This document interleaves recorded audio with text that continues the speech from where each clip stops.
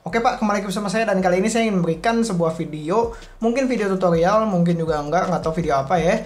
Dan intinya di video kali ini saya ingin memberikan mungkin sebuah video tutorial bagaimana cara menyeting warna pada uh, monitor Samsung ya. Jadi kalau misalnya warnanya tuh kayak sedikit gimana ya agak flat gitu tuh mungkin pudar gitu ya.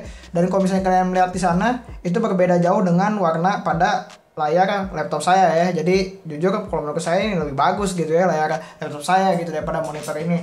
Nah itu pada awalnya. Kalau misalnya kalian nggak tahu cara settingnya gitu ya mungkin kalian bisa menganggap uh, si warna itu kurang gitu ya. Tapi kalau misalnya kalian mau cara settingnya kalian cukup cari tombol powernya gitu ya. Tombol powernya di mana. Biasanya untuk settingnya itu menggunakan tombol power ya biasanya dan di sini kalian cukup yang ini aja atau mungkin kalau di buku panduannya ada lah ya untuk ke menunya. Pokoknya kalian ke menu aja. Dan untuk uh, picture-nya atau mungkin gambarnya di sini kita akan klik saja ya kan dan di sini kita akan uh, pilihnya kalau misalnya kalian mau cepet ya ada yang nyaranin juga sinema gitu ya. Jadi biar uh, warnanya bagus gitu kan. Nah tapi yang saya rasakan kalau saya menggunakan sinema itu terlalu tajam. Jadi sharpnessnya tuh kayaknya terlalu tinggi gitu ya. Jadi kalau misalnya contohnya misal misalnya nih ya misalnya saya buka YouTube nih. Ya kan? Dan di sini misalnya uh, kayak misalnya tuh kayak thumbnail thumbnailnya tuh di sini ini apa sih? Ini ceterannya kepencet ya kayaknya. Jadi semuanya tuh semua huruf semua thumbnail itu terlalu tajam gitu ya. Jadi menurut saya kalau terlalu tajam jadi aneh juga gitu ya. Jadi saya tidak menggunakan yang mode sinema. Jadi di sini saya menggunakan yang mode custom ya. Jadi kalau misalnya kalian mau ikutin settingan saya sih silahkan ya. Di sini kita akan pilih saja yang custom ya, custom di sini. Dan untuk brightnessnya saya nggak suka kalau terlalu terang. Kalau misalnya terlalu terang jadi warnanya jadi jujur jadi pudar gitu ya. Jadi saya pakai brightness satu nol dan kontrasnya di sini saya menggunakan uh, 75 gitu kan. Kalau misalnya mau setting-setting lagi ya silahkan gitu kan dan untuk uh, sharpnessnya jangan terlalu tajam saya simpan di 60 aja deh ya dan untuk uh, ininya black apa nih upscale ya black uh, eh, HDMI levelnya silahkan aja sih komen diatur dan untuk respon time-nya di sini saya pakai yang uh, paling cepat ya. Kalau misalnya kalian mau pakai yang faster juga silahkan sih ya.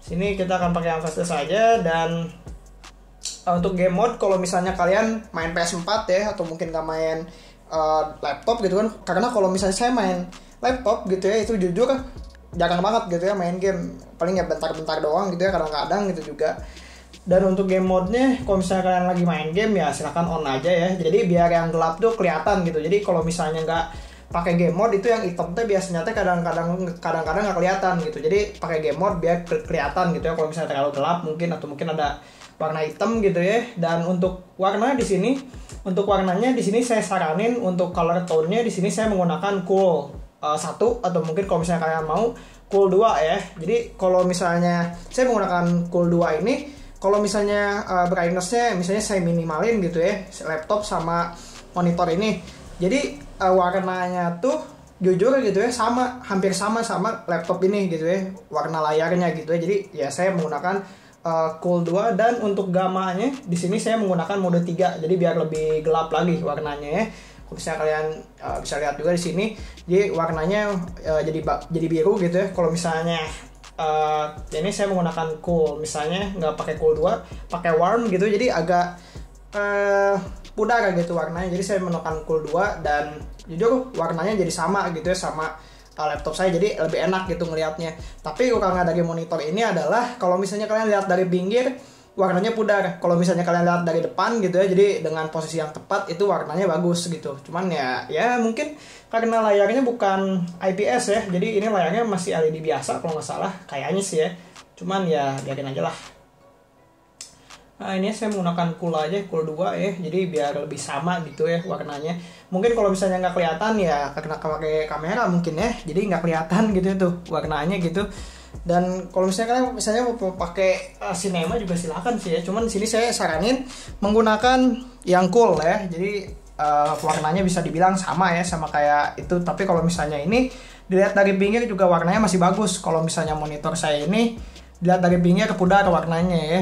Karena saya menggunakan uh, monitor LED ya bukan IPS jadi ya kalau misalnya kalian mau beli silahkan aja sih beli ya IPS kalau misalnya ada juga cuman di sini saya menggunakan yang curve dan saya juga kayaknya nggak terlalu ngaruh sih kalau misalnya lihat dari pinggir ya. Jadi saya cuman lihat dari depan aja. Dan ya kayaknya cukup segitu doang sih ya untuk videonya. Jangan lupa untuk like, share, dan subscribe. Seperti biasa untuk settingannya kalian ya cukup. Kalian pakai menggunakan uh, settingan custom dan brightnessnya silahkan sih ya itu bebas. Kalau brightnessnya kalian pakai brightness berapapun. Sharpnessnya jangan terlalu gede. Dan untuk uh, warnanya saya saranin kalian menggunakan cool ya. Jadi dia warnanya bagus lah ya. Jujur menurut saya cool lebih bagus daripada warm atau mungkin normal ya.